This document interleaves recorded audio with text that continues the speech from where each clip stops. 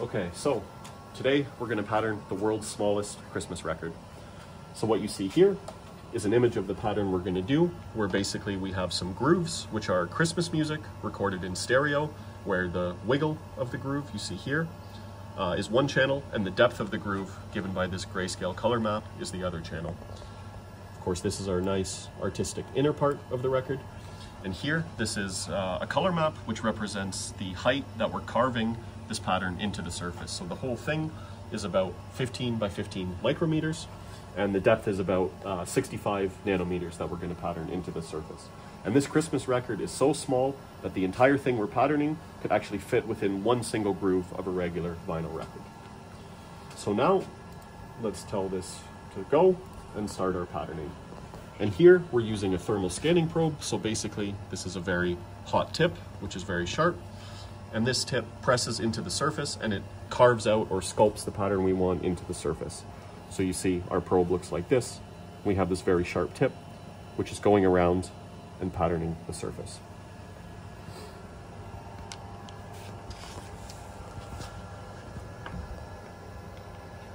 Exactly, just like that. And so now we're telling the machine to go.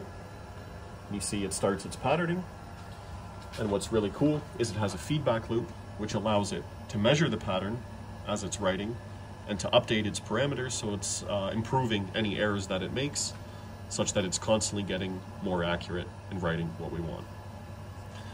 And what you see here is this pattern slowly developing. So basically we're scanning across the surface and we're writing one line and then we're reading the line as we come back so we can measure it and feedback on our error.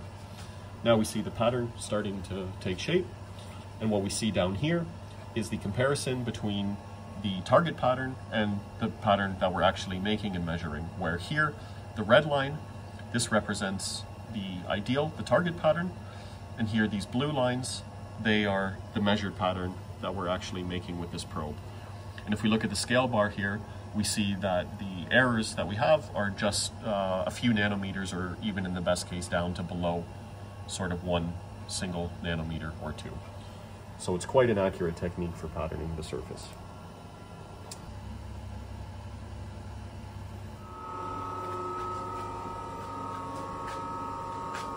So while this project is of course a little bit of a Christmas fun, uh, it's a, also a very serious exercise and something that is important for our research.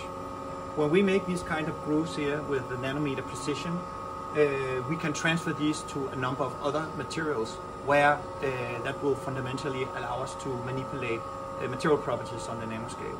For instance, if we are transferring this to a silicon dioxide, like glass surface, or uh, one of these um, uh, new materials uh, that are called two-dimensional materials that we do research in, one is called hexagonal boron nitride, that allows us to create a contoured substrate with an incredible control of the height, something that's very, very difficult to do with ordinary patterning techniques.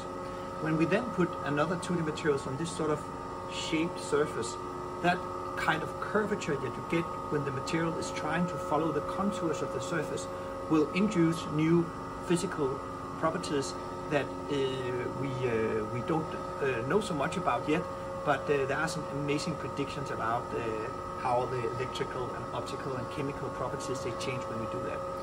So when you have a two-dimensional material and you start to curve it into the third dimension, you're doing something that we have never really been able to do in uh, physics or material science uh, before now. And this tool is more or less the perfect way to do that. So that is something that uh, we can look forward to, to start exploring in uh, 2023. Another thing that we also uh, will use this for is to make, make tiny um, magnetic field sensors that uh, allows us to measure the currents inside the brain. And through that, we are hoping in the long term to create some uh, affordable technology that allows us to uh, uh, answer questions pertaining to Parkinson's disease and Alzheimer's. So um, it's going to be some interesting years here with uh, this new tool.